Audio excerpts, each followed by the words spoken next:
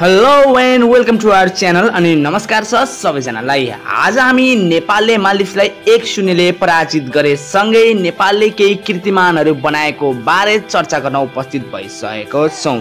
खेलमा मालदिप्सले नेपाललाई निकै नै दबावमा राखे तापनि अन्तिम समयमा आएर मनिष डाङ्गीले उत्कृष्ट गोल गरे सँगै नेपाल एक शून्यले जित निकाल्न सफल भएको थियो। खेल अवधिभर नेपाललाई मालिसले निकै नै दबावमा राखेको थियो। तर पनि अन्तिम समयमा मनिष टाङ्गीले खेलको छियासौँ मिनटमा गोल गरेसँगै नेपाल एक शून्यले जित निकाल्न सफल भएको थियो। तर हामीले पक्कै पनि मालिसको खेललाई कमजोर भन्ने ठान्न नसक्ने भएको छ।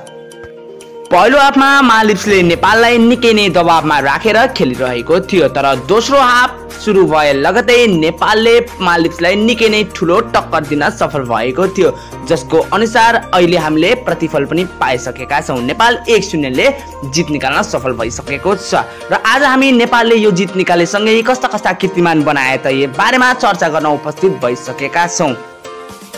नेपालले जितसँगै पहिलो कीर्तिमान यस प्रकारको बनेको छ। मालिप्सले नेपाललाई बाइस वर्षदेखि लगातार हराइरहेको थियो तर आज आएर नेपालले बाइस वर्ष पछाडि मालिप्सलाई आफ्नै भूमिमा पराजित गर्न सफल भएको थियो। गैराती भएको मालिफसँगको खेलमा नेपालले दोस्रो कीर्तिमान यस प्रकारको बनाएको छ।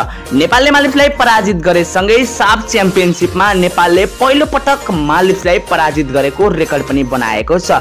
यस अगाडि भएका साफ च्याम्पियनसिपहरूमा नेपालले मालिफलाई कहिले पनि पराजित गरेको थिएन। तपाईँले जे सुनिराख्नु भएको छ निकै नै सत्य कुरा सुनिराख्नु भएको छ।